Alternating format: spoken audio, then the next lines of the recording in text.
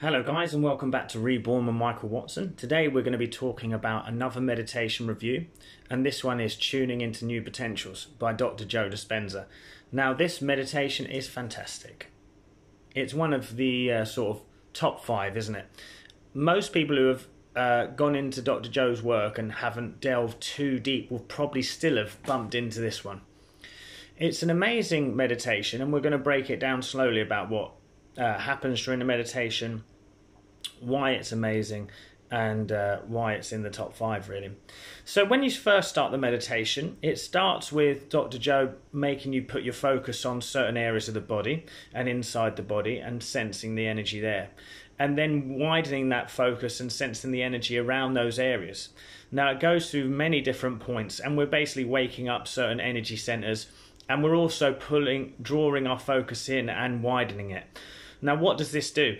This tends to help the brain go into a deeper state of relaxation and go through the um, brain waves from beta into alpha alpha and then eventually you're going to go potentially into theta which is amazing. So why are we doing this? Well dr joe in this meditation in particular is looking to make you become no one in no place at no time and you're no thing. And what I really love about this meditation as well is that when you start to get to these points and you can feel your body and your consciousness dropping into that state of the quantum realm I would suppose you would, would you're dropping into. But that state where you become nobody no one and no thing in no time it really uh, does give you that sort of sense of being totally disconnected from everything that you're involved in in your life but then he also gives you time to sit in that space. And one of the things I love about this meditation is that little bit of time where there's no guidance, there's no talking. You go on a journey. I'm sure, I don't know how long it lasts because I'm usually a bit lost in it at that time, but it can be, I'm sure it's around three or four minutes of just silence. And you really, I've had some profound experiences in that time because it gives you a space to absolutely let go and surrender to being nobody, no one, and no thing. And why he's letting you do that is because if you want to create from nothing, you have to become nothing. uh, if you want to create from thought alone, you must become thought alone, and you do. And I find either I get some quite lovely, colourful visuals, or my body goes into a sort of buzzy feeling like you're really centering your energy.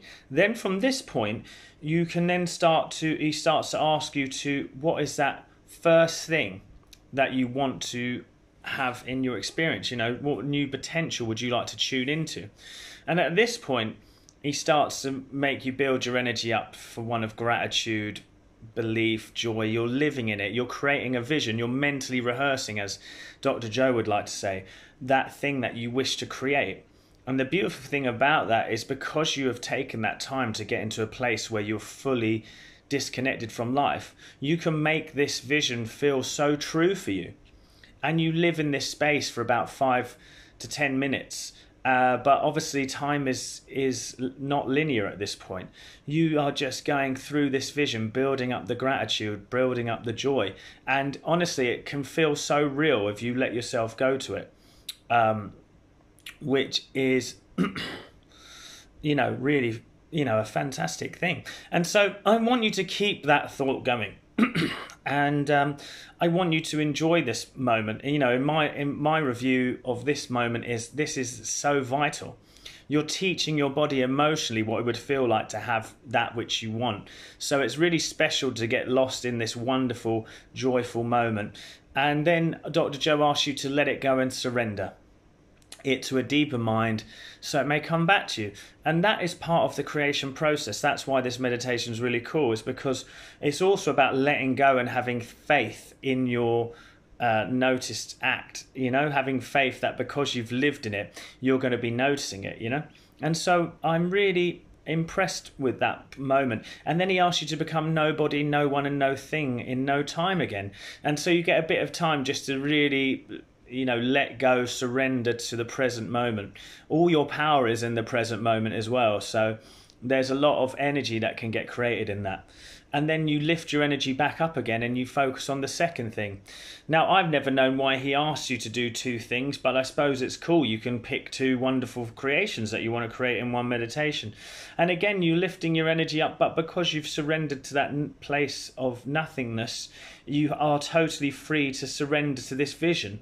And so you surrender, but you also lift your energy up. It's like a paradoxical moment of surrendering to the vision, letting it come, but also feeling all the gratitude, joy, and appreciation for it. And so in that moment, again, you you lift your energy up and you start to really focus on that next vision. And I tell you what, it's absolutely special and you live in that energy again, you lift it up, it feels amazing, it feels good.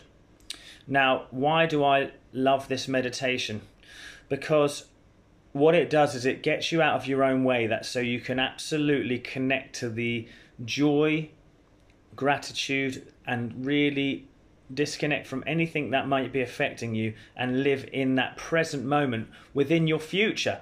So everything that we're experiencing is happening simultaneously in this infinite present moment, as they say.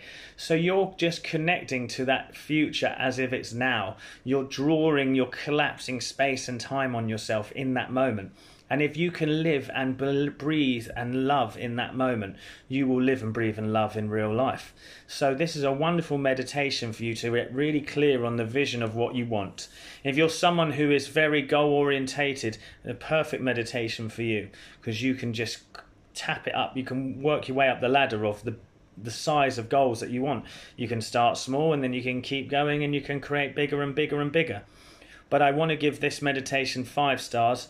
Fantastic meditation. I hope you enjoyed my explanation of this meditation. Though it may be a bit quicker than some of the others, it's not one that I do as often, but I do love it. I'm much more of a Blessings of the Energy Centers guy, um, just because for me, um, getting too fixated on one goal can make me feel the lack of it sometimes. So I like to just just change my whole energy around my whole life. But I hope this was helpful and thank you so much for watching the video. Please do uh, like, share, and subscribe. And if you need any help with anything else, there are some links in the description where you can get help with me along your journey. Take care.